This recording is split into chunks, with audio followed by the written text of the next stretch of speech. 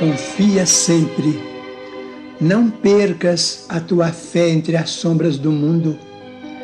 Ainda que os teus pés estejam sangrando, segue para a frente, erguendo-a por luz celeste acima de ti mesmo.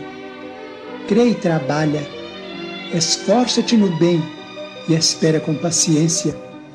Tudo passa e tudo se renova na terra, mas o que vem do céu permanecerá de todos os infelizes.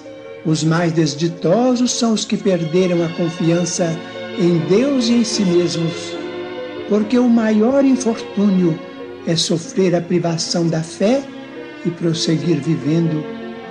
Eleva, pois, o teu olhar e caminha, luta e serve, aprende e adianta-te. Brilha a alvorada além da noite.